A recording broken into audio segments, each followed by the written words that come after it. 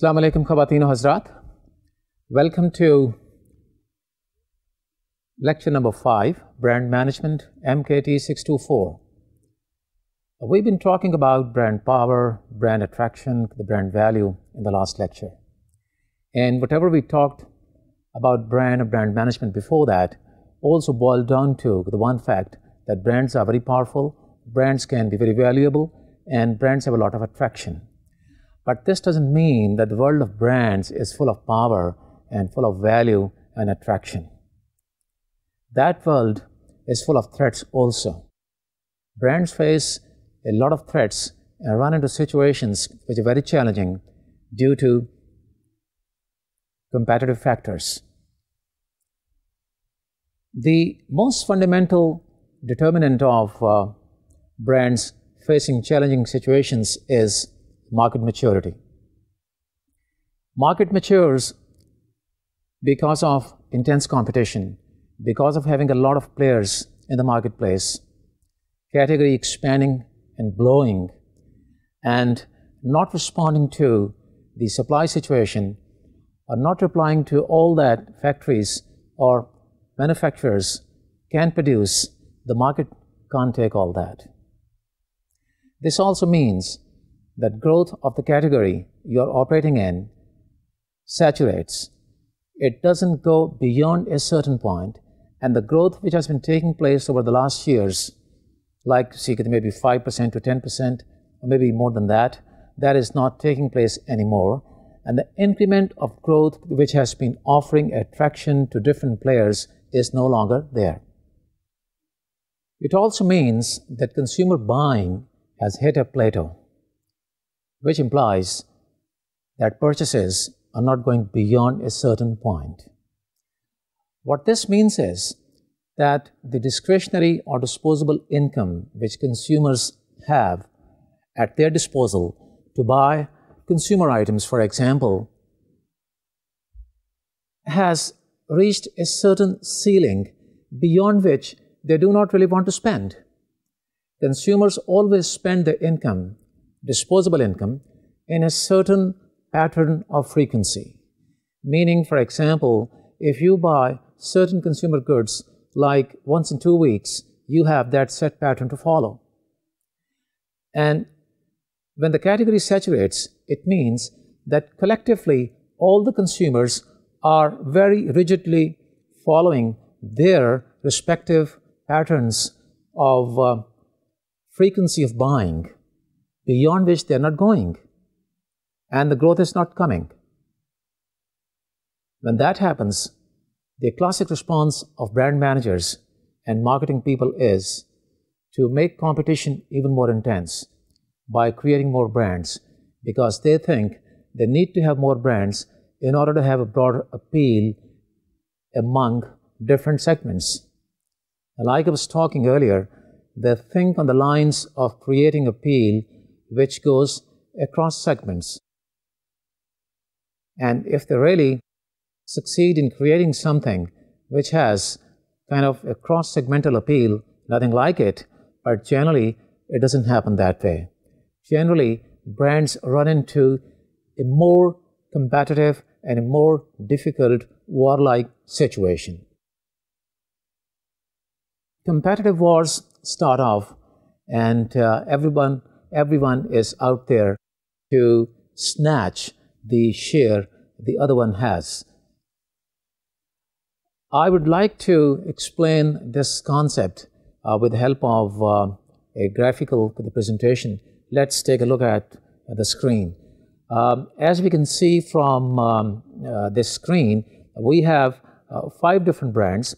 It is a hypothetical situation from brand A to brand E Brand A is the market leader with 40% market share, and then 25% brand B, and 15, 10, 10. That's all hypothetical. What I was talking about, the category not expanding any further and consumer purchases not going beyond a certain point, what I meant was that the slide which you can see what I was talking about in reference to category not expanding any further and consumer buying hitting a ceiling, what I meant was that this screen which you're seeing, which comprises of five different brands, it is not becoming bigger. When this does not become bigger, it means whatever growth has to come to different brands, it has to come from each other. There is no incremental growth. The size of the pie is not increasing. If the size of the pie is increasing, it can be expressed in um, the following words. If this pie consists of like 100 units, which is the total segment you are operating in, and if this becomes bigger, it means it maybe is 110 units or maybe even more. When it is not increasing, it is staying at 100. And when it is staying at 100, all brands have to snatch share from each other in order to grow, in order to have a bigger share of the market, because overall pie is not increasing. So that's what I meant by category not increasing, hitting a plateau, and consumer purchases reaching a ceiling point. And the classic response to this situation is more competition. And more competition comes in the form of more brands. You can well imagine if you refer to uh, the screen I was talking about, I was showing you uh, five brands, and just imagine if this consists of like you know seven brands or even ten brands, what's going to happen then? The market shares are going to be even more divided and subdivided, which makes things even more difficult.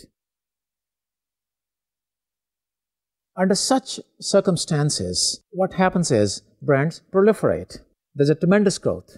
That's one of the consequences which take place as a result of the decisions taken by the brand managers to introduce more brands. Other factors which uh, pose challenges in this kind of situation are consumer revolt, management pressures, retailer power, and media fragmentation. We shall talk about these points one by one, but first of all, brand proliferation. Like I said, this happens um, as a response to category getting mature. Different players come out with different brands. If you had you know five brands earlier, maybe now you have 10 brands. When that happens, it makes your buying process a little more complicated. You go to the marketplace, take a look at the retail shelf, and find more brands than you are used to looking, looking at. You are a little perplexed, a little confused what to do and what not to. You start, as, you start thinking as a consumer that all the products which appear on the shelf, all of a sudden, they all have differentiated features. But you've got to convince yourself. And here, that mechanism gets set into your mind uh, whether you should try it or not. The awareness is created because you're looking at those different new entries, but you are not very knowledgeable of the benefits and features they offer you. And generally, what happens at the end of your thought process is that you go back to your original brand and you stick to the preference that you had. You still exercise that preference and end up buying the brand which you have been buying before. Because you are a little confused. So, the net effect of brand proliferation is, although competition becomes very intense, uh, the preferences stay the way you know, they have been, and new entries generally are not in a position to snatch as much share as brand managers thought they would. This is not to say that they do not gain any share of the market.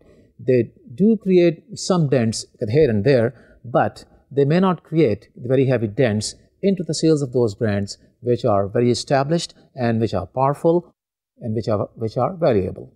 But they do create problems. Problems in the sense that established brands have to invest more in the market, they have to uh, put in more efforts in order to sustain the brands, and whatever they've been doing to maintain those, they have to intensify their efforts and activities, which means more money and more time. So this is the, one of the challenges which uh, is posed to uh, powerful and valuable brands. And I would say it once again, um, do not take me wrong when I say uh, that new entries um, cannot really affect the sales of the existing brands. They do, but to a certain extent. Uh, what they also do, uh, they create some problems for consumers to make decision. So when consumers see differentiation taking place not in a very meaningful way and uh, you know products proliferating not with the very meaningful features they become kind of uh, irritated and uh, they think that their buying process uh, has been unnecessarily made complex. So this is one of the challenges uh, that the brands face. Um, and, and no brand, however powerful it is, is immune from this kind of a challenge. The second challenge which brands face in the marketplace is uh, consumer revolt. And this challenge is an extension of the first one, which I talked earlier, brand proliferation. Brands proliferate uh, as a result of uh, uh, the pressures which uh, the brand managers feel upon themselves because of the category uh, not expanding anymore. Um, and the reason I say this is an extension because consumers do not really feel that the differentiated features uh, which uh, uh, the new brand entries offer are very meaningful. So it is the trivial differentiation which really puts off uh, consumers. Uh, in many of the cases, like I said earlier, they feel that their the buying process has been unduly made complex and uh, they don't really have to look at, um, they don't really have to consider the new entries and therefore they will rather stick to their um, own brands. If they try new brands, it means they are cutting into somebody's sales. And there are situations where new entries do attract consumers. Uh, but generally, uh, what happens is that uh, consumers look upon the uh, uh, differentiating features uh, as offered by the new entries as trivial. The reason is that new innovations are not really easy to come by and uh, it is not very frequent that meaningful innovations take place. And uh, under those circumstances, there is not much in which you really can do in order to add uh, real, meaningful, extra, uh, additional benefits uh, to the product. Therefore, uh, consumers get a little upset and reject that trivial uh, differentiation. Talking uh, a little more in detail about uh, the, the triviality of uh, these uh, the differentiating uh, features, I say differentiating features because the brand managers or marketing people think that they really have offered something which is which, which does carry a point of difference, but in actuality it may not. The distinction may appear in terms of uh, the package, uh, but the real differentiation in terms of the content may not be there. Um, to give you one example, there are many uh, products on the market which you will see uh, saying on top of the package, uh, new.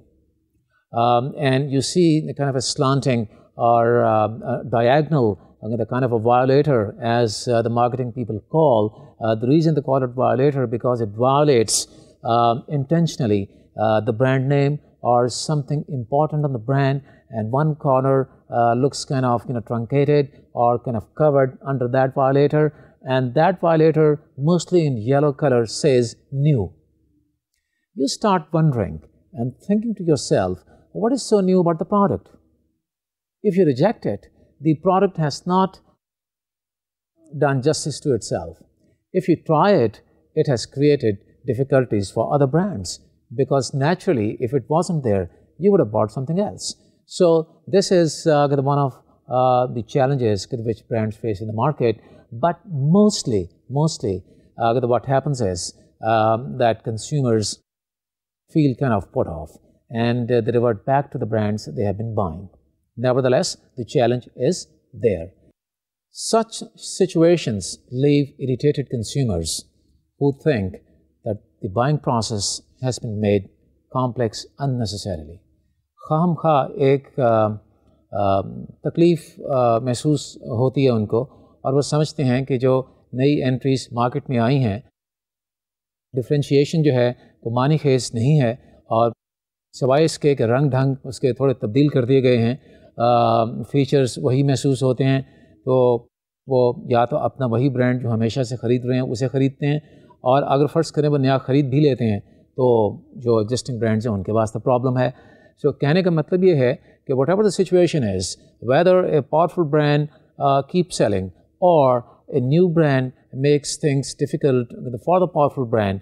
Uh, brands um, are under uh, threats because uh, uh, it is the same brand managers and it is the same players, you know, who are managing all those brands, and uh, everyone is uh, facing the brunt of the situation somewhere along the line. This kind of a situation leads to a lot of pressures on brand managers. The biggest pressure they feel is from the top management. And that pressure is about either losing sales or losing profitability. And brand managers start scratching their heads what to do next. This is a tremendous challenge. And under these circumstances, generally, the response of uh, the marketing people is to start promoting brands. And when I say promoting brands, what I mean is they kick off some promotional schemes, as they call those in the marketplace. Promotions are short term incentives offered to consumers and retailers to boost sales. And since now they are short term, they do not really address the long term goals of the company. And promotions are carried out always at the expense of profitability. You must have noticed in the market, and you must have bought you know, many a time uh, products which are on promotions like buy one, get one free, or buy one, get 25% off. Now, that 25% off or that free item which you are getting by just buying one comes to you at the cost of uh, the company. Uh, the company has to pay for that. So, this is a tremendous pressure under which brand managers and all marketers can find themselves. This compromises financial performance and long term goals. And having said that, it becomes obvious that this is a tremendous challenge for the brand managers. And this takes us into another um, challenging area, uh, which we call retailer power. Retailers love promotions, and you can guess why. Because they can sell more and they can make more money. When you offer promotions like buy one, get one free, retailer does not have to contribute toward that cost. And a retailer never will. It's the company that faces that situation and that bears all the costs. But retailer feels very comfortable because you know, he can attract many more consumers. And getting a temporary boost for the product to sell, retailers, like I said, can make a little bit of more money. And also knowing that managers uh, from the companies are under pressure because they have uh, launched these promotional campaigns. And if they have launched promotional campaigns, naturally it is in response to certain pressures. They try to bring managers under more pressure because they know they are more vulnerable and more susceptible at this point in time. So they keep talking about more and more promotions. And they keep frightening the managers by saying, if you take this promotional um, incentive off, it's going to uh, bring the whole thing to a grinding halt, which may not be the situation, or which may be the situation to a certain extent, because whenever you take that off, uh, sales will slow down uh, because um, consumers are not getting that uh, free item anymore. They're not getting that 25% anymore. Uh, so this is kind of a predicament, and um, uh, this is a dilemma um, in which uh, the managers find themselves uh, when to launch these kind of promotions. And once they have launched the, these promotions, uh, when to uh, say goodbye to those promotions. So this is a, a very, very serious challenge which is faced by uh, the managers the once in a while. Uh, another challenging area for uh, all the brands is the, the media fragmentation and uh, increasing costs. media fragmentation has come into being in response to growing information technology. Uh, you know the number of television channels that we used to have in our market like you know a decade ago and uh, uh, if I give you um, the example of like, you know, more than two decades ago, uh, we used to have, you know, just one television channel in uh, our country. And today we have maybe 70 or 80 channels, so maybe more. So the brand managers have got to be very, very media savvy and they've got to be very careful in choosing um, the channels or the media to use for um, kicking off their communication campaigns. Um, gone are the days um, when we used to have uh, the one integrated campaign uh, which will go through uh, the one integrated media and do the trick for the companies. Uh, today, you have to decide uh, which are the channels that are suitable uh, to your company because um, those are the channels, those should be the channels which carry an appeal for the target market you are trying to reach. Um, so uh, media fragmentation is a very important challenge about which the brand managers have got to be very, very knowledgeable. If you are not really uh, choosy about um, which uh, the channels to use, you can end up incurring a lot more cost. just imagine uh, kicking off your campaign through mm, two television channels as compared to all the 80 or 90 channels that we have in the country. Can you afford to make that kind of a mistake? I don't think you can. So the answer is no. Uh, these are uh, some of the challenges which, uh, and I would say some of the external challenges which brands face nowadays, uh, however powerful and valuable and attractive they may be.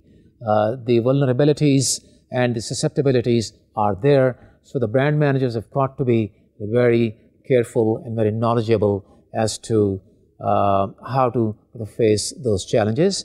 And uh, they've got to be proactive uh, in terms of gauging that they are now just about to get into a challenging situation. And instead of showing reaction to that challenging situation, they should uh, carry out certain uh, proactions and they should, they should try to preempt um, those challenging situations. Uh, the chances are, um, even if they cannot avert those uh, upcoming situations to the 100%, they might be in a situation uh, to minimize the impact of uh, the emerging challenges. With this, uh, we are done with the external challenges which the brands face in the marketplace. And uh, after having talked about that, I would like to talk about one more challenge which is very internal and which brands face. Uh, that is the challenge of changing brand managers. Uh, when I say that, what I mean is um, brand managers being uh, ambitious, uh, the young people, uh, they change uh, their the platforms at times too frequently. Um, today, you know, this company, tomorrow that company, and uh, the companies run into those uh, challenging situations because they cannot maintain the consistency uh, which uh, was created by one manager and uh, it crops up crops up a situation where uh, companies do not find themselves uh, to transit in a seamless way when they have another manager doing the same job.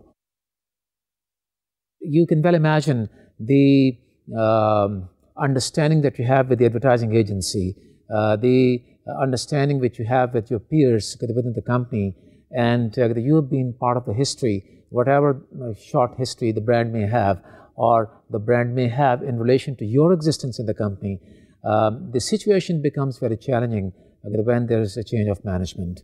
Uh, so that is another challenge which uh, the companies can have to face, and uh, that makes the job of the top managers, in particular the marketing manager, um, well, if the marketing manager is very consistent, um, a little difficult because um, the challenge of maintaining that consistency falls in the domain of the superiors who have to see to it that the transition uh, from one era of one brand manager to the era of uh, the new brand manager uh, who's just starting off takes place in a very seamless uh, and consistent way. Having said all that, uh, we are now done with uh, the brand challenges. And uh, not only we are done with brand challenges, we are done with all the um, building blocks, the macro building blocks that we started talking in the very first lecture up to this point, just in order to have a very good, good macro understanding for developing a uh, strategic uh, brand management process or a brand management model. To have an understanding of uh, the brand management model, uh, I'm going to uh, refer to uh, the book by uh, Scott Davis, uh, which I refer to as the basic, the textbook for the course. And in order to maintain consistency of tutorial, I'm going to now talk about all the concepts, the chapter by chapter, um, but nevertheless, the handouts which you are going to get are going to be a combination of so many different materials also. Uh, but my point is to uh, let you know that uh, if you can lay your hands on that book, um, it, it's going to be good for you. Uh, the understanding about the model is going to be developed from the point of view of your um, developing yourself into a brand manager. Uh, just think for a while that you are a brand manager who is going to develop a new brand or a brand manager who is responsible for maintaining an existing brand. Uh, you have to have a very clear understanding of how the model works. Uh, starting uh, with uh, how to envision a new the product which is to be turned into a brand, and then going through all the phases um, up to uh, the stage where it becomes a very well established uh, brand in the marketplace.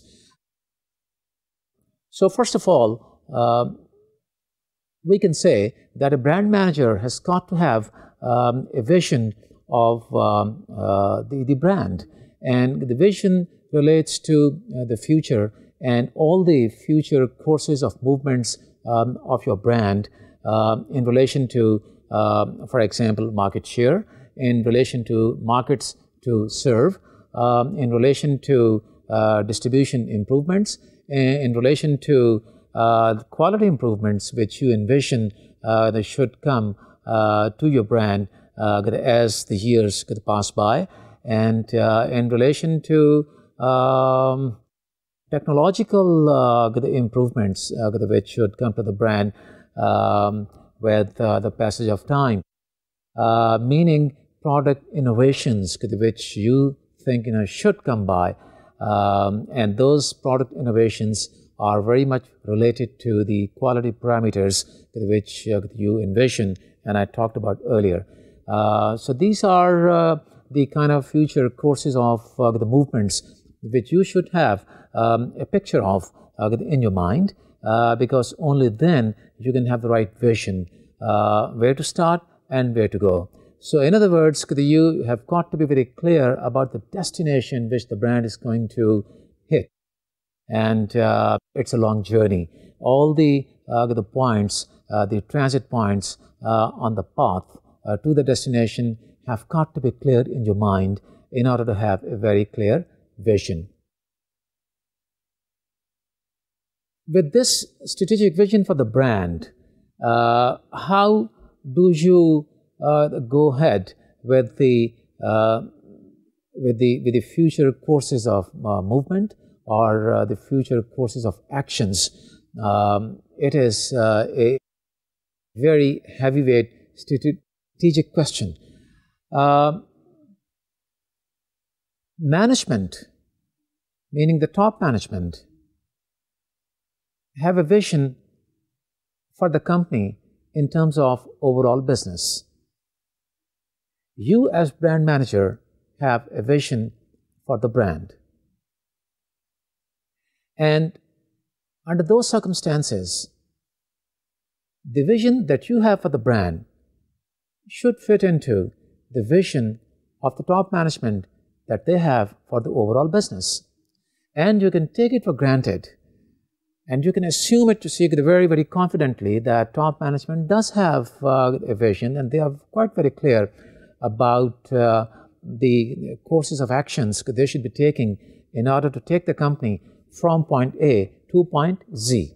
And uh, the beauty of that strategic uh, process is uh, whatever uh, is going to be a part of that has to fit into that, just like different cogs of the wheel fit into the wheel and make it moving. Having said that, it becomes obvious that brand vision is an extension of the overall business vision. The top management has the vision for the overall business, and you, as brand manager, has vision for the brand. Brand vision is all about brand future, brand growth, and brand destination. And since earnings and cash flows and profitability all are function of the brand movement, therefore, brand vision statement as part of the strategic management process takes on an added importance. It is the most important statement that we have to make before we start the process. It is the brand that is going to help a company to achieve its goals, short term and long term, both financial and strategic. Uh, there's a difference between financial goals and strategic goals, although financial goals also are very strategic. But uh, just for uh, the sake of understanding, I would explain these things to you uh, within this lecture, I think. Uh, financial goals are going to deal with numbers uh, that we have to achieve through uh, the movement of the brand, and strategic goals are going to relate to the uh, qualitative market things like um, what kind of market we're going to cover and how much coverage we want, uh, what kind of improvement we need in market shares, so on and so forth. But we should be talking about all these things as the lecture goes on. The brand vision, therefore, is the starting point of the strategic management process. And before we start talking about how to build the model specifically relating to uh, the brand management, we've got to have a very clear understanding of the overall strategic management process, meaning the process which is uh, set in motion by the company for the overall business. And since brand management is part of that, uh, we have to uh, talk about it later before developing an understanding for the overall model. Strategic management process consists of five different stages. We can break down you know, these stages into six or seven, but um, primarily, I would say there are five stages. Number one stage is developing the overall vision for the business, which I talked about already. Uh, the second stage is that you translate that vision into objectives. And uh, when you translate into objectives, it automatically means that you have to quantify whatever you envision in terms of uh, the brand movement. You have to have numbers in place, and we should talk about that. Third stage is based on the objectives that we have set to ourselves, that we have to craft an overall strategy, meaning a business strategy. This business strategy is a combination of so many different associated strategies, like you have a financial strategy, I mean, how to raise money. You have to have a marketing strategy, and part of the marketing strategy is the brand management strategy. You have communication strategy, you have uh, you know, packaging strategy, you have uh, promotional strategy. So there's, it's just a set of so many different strategies. Any uh, move that you're going to make can be uh, crafted into a strategy.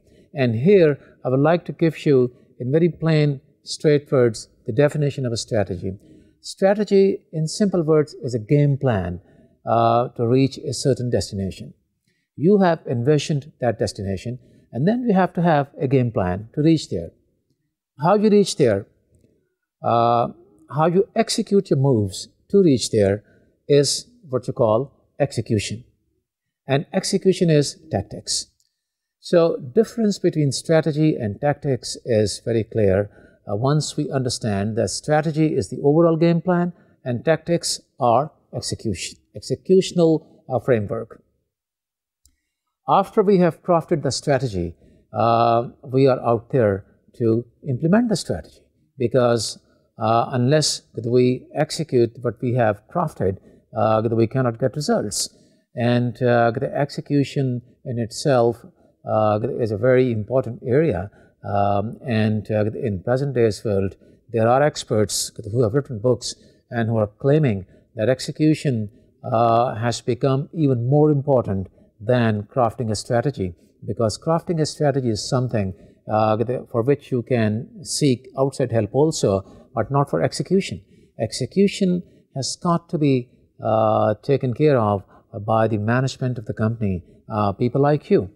So after execution has taken place, meaning after all the strategies are implemented, they are in place, uh, the stage is set for evaluating whatever is implemented. And you evaluate all the um, achievements that are there as a result of the working of uh, all the divisions and the subdivisions of the company. The results that are achieved uh, those are good. And the results which are not achieved, you have to look for the fixes as to how to, uh, make them work. Uh, maybe you have to change your strategy, you have to change your tactics, and uh, you have to devise a new course altogether. So whatever uh, corrective actions are to be taken, uh, they are based upon this stage, which is the evaluation of what has been implemented. As we can see from the slide, uh, the, the management process, the strategic management process consists of uh, uh, the five different stages.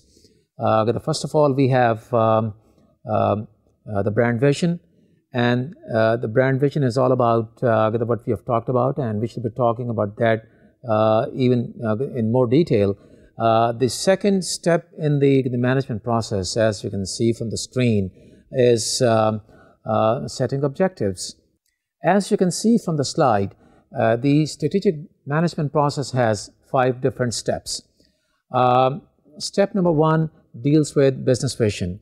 Uh, we have talked a little bit about business vision um, in terms of um, it providing us the picture uh, about the destination which the company wants to hit and uh, what is it that is between uh, today and that destination. So that falls uh, within the um, within the visionary area, so to say. Uh, the second step is uh, setting objectives. That once you are very clear about the vision, you have to translate uh, your uh, vision into some some quantitative numbers because you have to achieve those objectives. after those objectives are set, you are concerned about how to achieve those. Uh, you need certain resources at your disposal to start working on those in order to achieve those.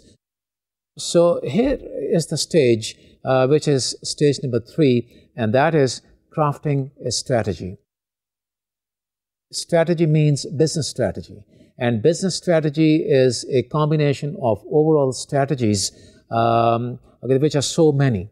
Uh, all the actions which you think you should be undertaking in order to reach the destination can be uh, classified into different categories. Uh, you have, you know, so many different marketing marketing strategies like advertising strategy, you know, packaging strategy, uh, the promotional communication strategy, um, and similarly you have financial strategy, you have uh, the human resource strategy uh, because you need people who really can deliver uh, the goods. so business strategy is a combination of so many different strategies and uh, once you know you have crafted all those strategies, you are into the next stage, which deals with implementing those strategies. Implementation, of course, uh, is all about execution. Execution has taken on added dimension uh, in today's management. It has become very significant. There are uh, management experts who think that execution is even more important than crafting a strategy. Maybe this is an overstatement, but what it means is that crafting a strategy is uh, relatively less difficult because you can seek outside help. Uh, you hire consultants, you consult them, and uh, you can have uh, so many different strategies in place. But when it comes to execution, uh, implement implementation stage, it is the job of the management team uh, of the company that has to do all that. So it takes your best to, to be able to execute all that uh, you have crafted. Once you have implemented uh, your strategies, the last stage or the last step, number five, is evaluation of all that you have implemented. Uh, you've got to see uh, what is it that you have achieved and what is it that you have not achieved what you have not achieved uh, has got to be uh, dissected so that the right corrective action can be taken uh, to fix that. Um, if there is um, a need for having a new strategy in place, you should do that. If there's a need for bringing about some technical changes within the strategic framework, uh, you should uh, handle that. And uh, if there is something wrong with the execution process only because you're short of good people or you're short of resources, you've got to take all those corrective actions to be able to evaluate all that has been implemented so that all the goals and objectives can be fulfilled. If not 100%, um, say very close to it. So at the very start of uh, the strategic management process, there are some very vital questions which managers could have to ask themselves uh, before the process uh, goes further down the line. And those questions are uh, where we are today and where we really want to reach. Uh, what is going to be the shape of the business in times to come? And times you already have defined, maybe five years down the line or less than that, three years down the line. Nowadays, the business plans are made for a period of three years. Uh, five year is uh, a bit too long, and 10 years even longer. Uh, but when it comes to vision, there is no harm talking about five years down the lane or 10 years down the lane. When it comes to setting objectives, it is about three year time frame, which is uh, more practical and prudent than a five year time frame. I was talking about um, um, the questions which managers should ask themselves before the process can be uh, further set into uh, the purposeful motion. And uh, the next question they should ask themselves, what are the business areas they're going to be in times to come? In the next three years, for example, if you're dealing with a three-year plan, what are the markets you're going to cover? And what are the product areas you're going to cover? Maybe you're going to get into uh, more product lines and uh, uh, what are going to be the geographic areas that you're going to uh, expand your uh, the presence into, and um, what are the kind of uh, human resources you need uh, to improve your the organization structure that is really compatible with the changes which you envision today. So these are a few very fundamental questions which you have to answer. And to be able to answer all those questions, the, the managers could have to carry out a very careful analysis uh, of uh, uh, where the company would be um, in, in, in the next three years or five years. And uh, I already have talked about uh, the answers in relation to the questions when I was talking about those questions. The kind of areas you want to get into, the businesses you want to get into, and the growth you know, which you want to achieve.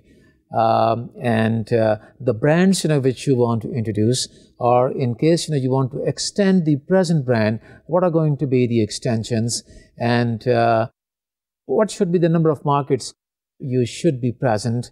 Uh, these are the kind of answers which you should uh, have in place um, to all the questions which are very strategic in nature and which form uh, the framework for this strategic management process.